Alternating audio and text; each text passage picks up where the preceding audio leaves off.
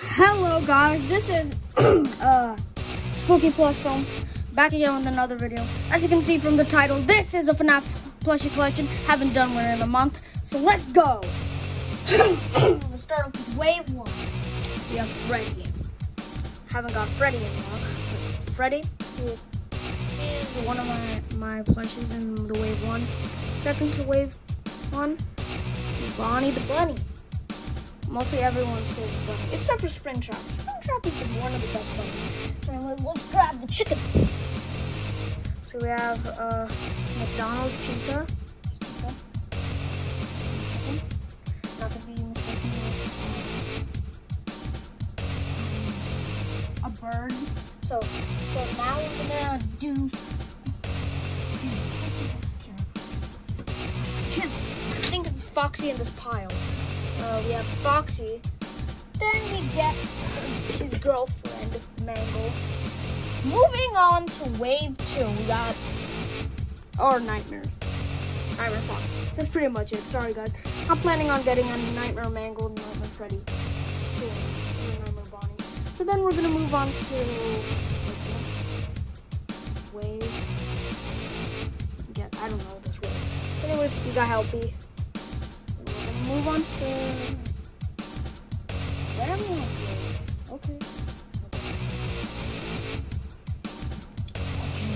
Get the star of the Glam Rocks. Glamrock Freddy. Next up, Big Montgomery Gator. Next up in line as well, Glamrock Chica. Then we have Roxanne. Then we're gonna have the Vanny. Don't turn me into a marketable plushie yet. So then, we're moving on to the exclusives. We've got Frost Bear, one of my favorite exclusives, plus Security Puppet, one of my favorite exclusives as well. Then we're moving on to customs. We got Withered Freddy. then we've got the full-on made customs with my own hands. We have Fredbear we have the Shamrock Warrior, plus his little mask. Then we have Moondrop. Then we've got Mad Madness. Then we got Ultra Madness. Oh, let's just put him over here. Gigantic plushie.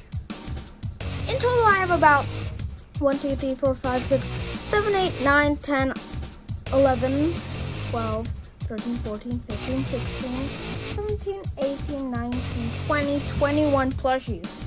That's pretty much a lot. Since that was, that was it, see ya. Bye.